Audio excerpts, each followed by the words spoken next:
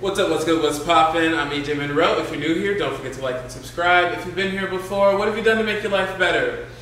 Sometimes it's necessary for things to end so other things can blossom. It's kind of like what I was talking about in Birds of a Feather. And sometimes the universe is just kind of like pushing us in a new direction. Sometimes it's forcing us to lose something. And that's kind of what I wanted to talk about. I think that processing grief is super important, and you need to understand that grief doesn't always have to do with death. You can lose someone or something and process grief. And I think today we're talking about that. We're talking about five ways to move on, five ways to process that grief, five ways to be a new because that's what we're doing.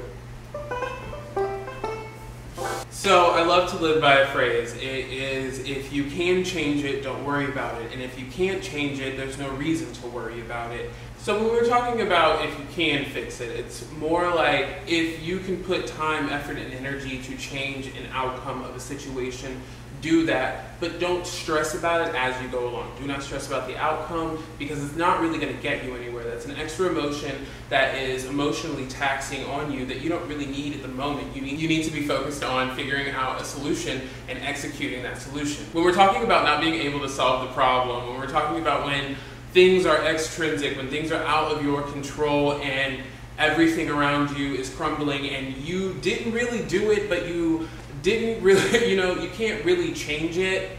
That is something also that's just more stress on you. You just need to be focused on making the next right step in order to change your situation other than worrying about things that you cannot change.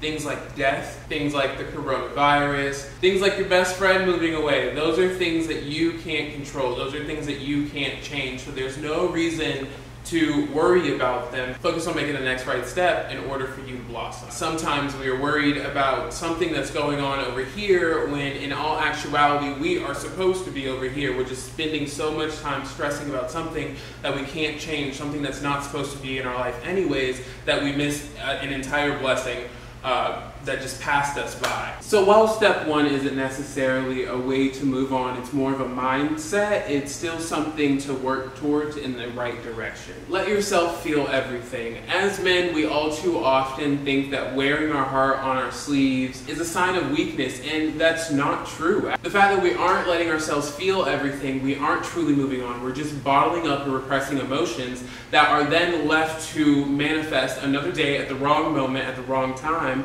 How many many times have you held on to hurt from an old relationship and then you ended up going into another relationship, a good relationship with a good person who you should have been with, but you still held on to that hurt. You never let yourself feel the hurt from your last relationship and that hindered you. So now you lost out on something that could have been great. Hey.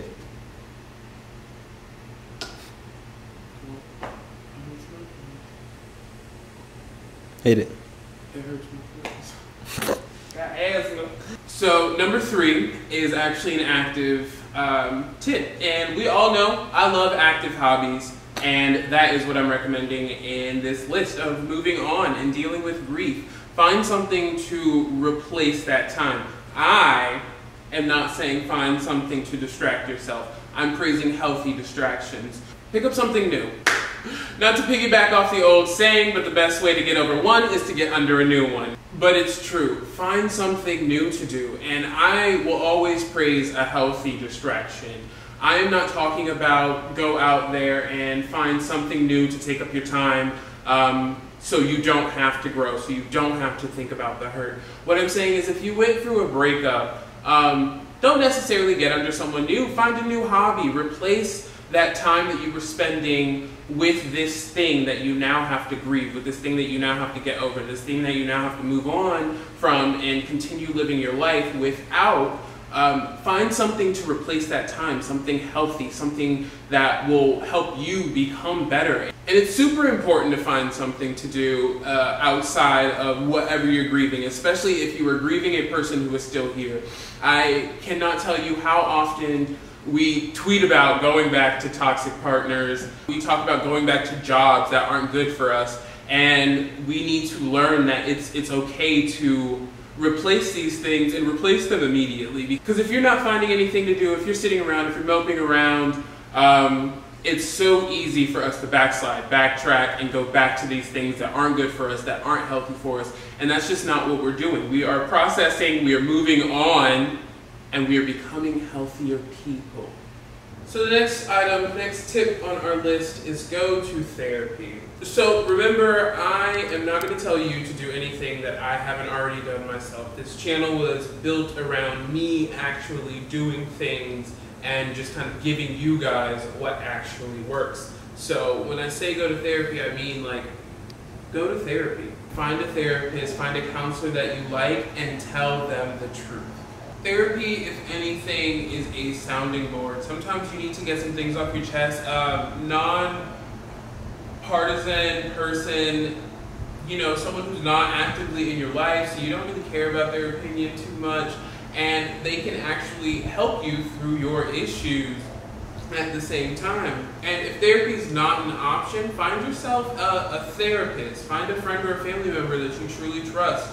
Um, internet outlets. You can start a blog. You know, Tumblr is not really popping anymore. So if you don't want people to know, um, not dissing Tumblr, I'm still there. I'm still on Tumblr. But um, if you don't want too many people to see that, you know, go on Tumblr and blog about it. Talk to a friend about it. Talk to your mom. Your mom loves you. Um, talk to someone who cares about you because sometimes you have already justified these bad decisions to yourself. So when we talk about moving on, when we talk about needing to do something different, if you feel like backsliding, if you feel like going back to this toxic situation, if you if you feel like um, if you feel like you're you sad and you're bogged down, talk to someone else. And if anything, you just need a sounding board. You just need to get those thoughts out there. You've already justified your stupid decision to yourself, so like you're going to make the stupid decision. But sometimes it takes telling another person out loud, like, hey, I'm gonna make this stupid decision for you to sit back and be like, all right, you know, maybe I shouldn't make the stupid decision. So I'm advocating for therapy forever and always. And last but not least, number five, let time do its job. We live in a new age society where we want everything quickly. We want instant gratification. And so that obviously plays a part in our emotional life that we are expecting to get over things quickly, that we are able to tell, tell ourselves we're fine and we're fine. And we can move on with things, but that's not true. And you can't rush the process. You can't rush your emotions. You can't tell yourself that your feelings aren't hurt. Take time. If you need time, take it. Don't rush yourself into situations that you don't feel comfortable in, that you're not ready for, because again, that's you blocking blessings. That's blocking things that are supposed to be in your life, but you are trying to take them on too quickly, and you haven't truly processed your grief. You haven't processed your trauma that you've been through and you fumble in the back.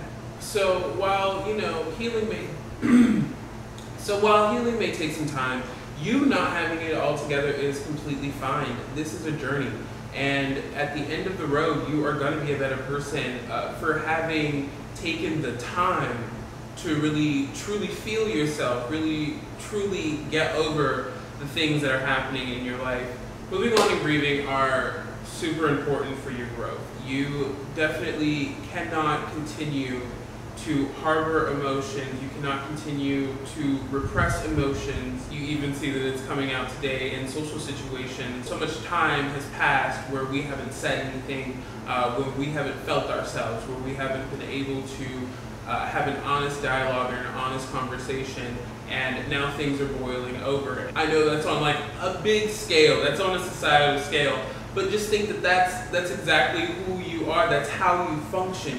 You cannot take these things with you everywhere you go because it, the weight of it is heavy. So learn to grieve, learn to process these things, learn to move on from things that aren't great for you. It's gonna help you in the long run. It, this, this process is long, it's arduous. I completely understand it. Sometimes it's a whole lot easier to stay in a situation that you know is not good for you because it's comfortable, it's easy, but like that's that's not what we're doing here. We are pushing past that. We are doing better. We are putting ourselves in situations that we wouldn't normally put ourselves in. So that means, you know, if you feel the need to cry at the club, cry at the club. That's what your body needs at the moment. It doesn't mean that you're weak. It just means that you're a human being. It means that you're alive. So appreciate that. With that being said, I'm AyJay Monroe. You have a whole other week to figure out what you're going to do better with your life.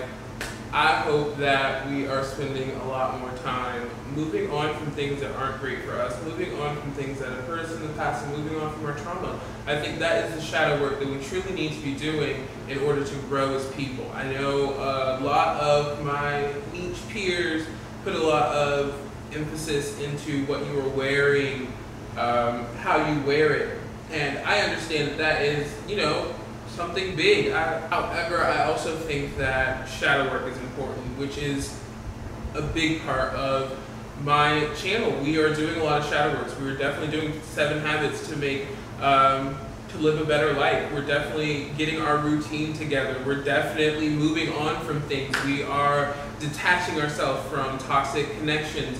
This is what we are doing to live a better life because I think that you need to start there. That is the foundation of growth. And I think that after we figure out our shadow work, after we figure out everything that we need to let go in life, then we can move up and figure out what we need to wear. And then we can move up and figure out what we need to drive. And there's levels to this. And we're on the first level. All right, well, I will see you guys later. I've talked enough.